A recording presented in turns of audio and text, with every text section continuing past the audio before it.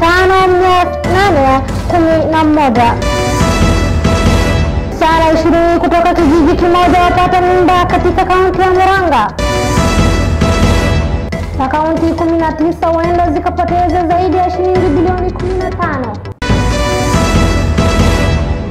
Naam, karibu kwenye taarifa zetu rasmi. Serikali imeonya kwamba huenda visa vya maambukizi vya COVID-19 vikapanda maradufu. Waziri msaidizi wa afya Daktari Masi Mwangangi amesema hayo Jumamosi, ambapo amethibitisha visa vipya 278 vya maambukizi vya COVID-19 vikiripotiwa katika saa 24 zilizopita.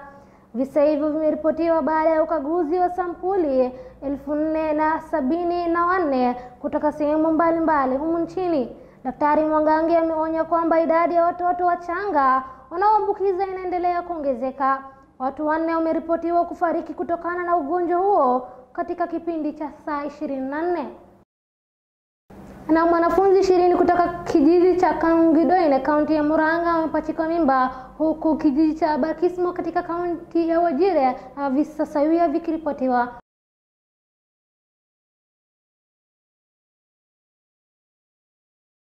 na miaka 17 nilikuwa nasoma Katito Secondary, nilikuwa form 2, nilipatana na kijana tukawa flats, sasa nikapata bo alikuwa anasoma huko Mkerejo study 6 akapata mimba. Baba yangu iko na mia, na miezi nne.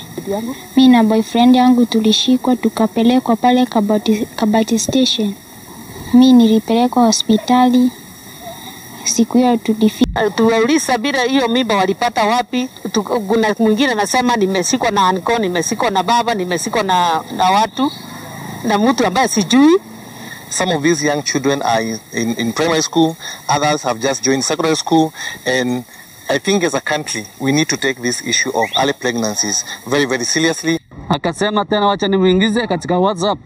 Mpaka saa hii hiyo hiyo picha yake inaenea. Before azisambaze alikuwa akizitumia kumblackmail akimwambia usipofanya kenye nitakutuma nitazisambaza mtandaoni. Naomba serikali ichukuliwe hatua kali sana kwa hii mtu. The file is ready, so we are waiting for the expert report, which is the P3. So that on second, that is on Thursday, the case will be taken to court. Wa fedha Ukur kutengea magatuzi shilingi bilioni 316.5 katika mwaka wa kifedha mwaka huu na mwaka ujao, kitendawili kinachosubiriwa kuteguliwa ni kiasi cha pesa kila kaunti itapokea.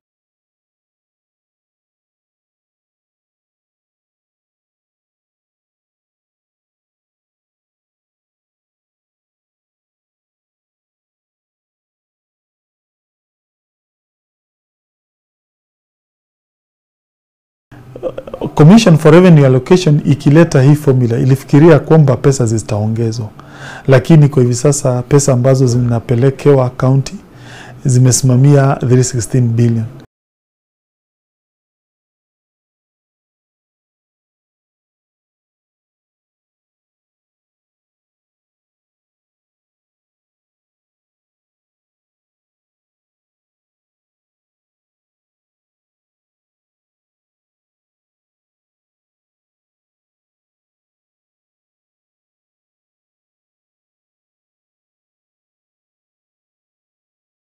Lakini kuna pia wale ambao wanasema tukikosa kuwa na nafasi mzuri ya kuweza kujua tuendeaje, basi tunaweza tumia ile formula ambayo kwa hivi sasa iko tuiweze kuileta kama age.